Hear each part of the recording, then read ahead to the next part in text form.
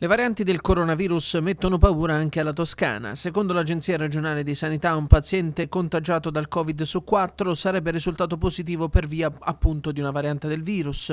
Ma è una regione a due facce dove il confine sud con l'Umbria rimane osservato speciale. L'ultima frontiera è quella di San Sepolcro in Val Tiberina, che si avvia a sottoporre la sua popolazione ad uno screening straordinario di massa.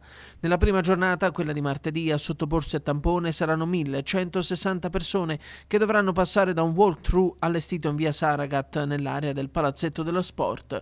Quattro i turni disposti dall'ASL Sud-Est. I test sono aperti a tutti i cittadini residenti ma anche agli studenti di fuori comune che frequentano le scuole in città e alle persone che lavorano a San Sepolcro anche se residenti fuori comune. È un interscambio lavorativo, scolastico che sicuramente eh, facilita la diffusione del virus e che rende le zone di confine particolarmente fragili nei confronti confronti sia del virus in sé sia di una possibile variante che in Umbria è particolarmente diffusa.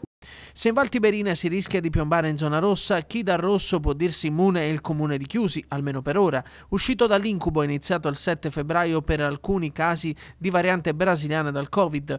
Qui lo screening ha evidenziato 46 positivi su un totale di 5.469 tamponi effettuati in 5 giorni su un totale di 8.000 abitanti, che potranno adesso tirare un sospiro di sollievo ma non certo rilassarsi dal momento che il comune della bassa provincia senese sarà comunque zona arancione, come il resto della Toscana.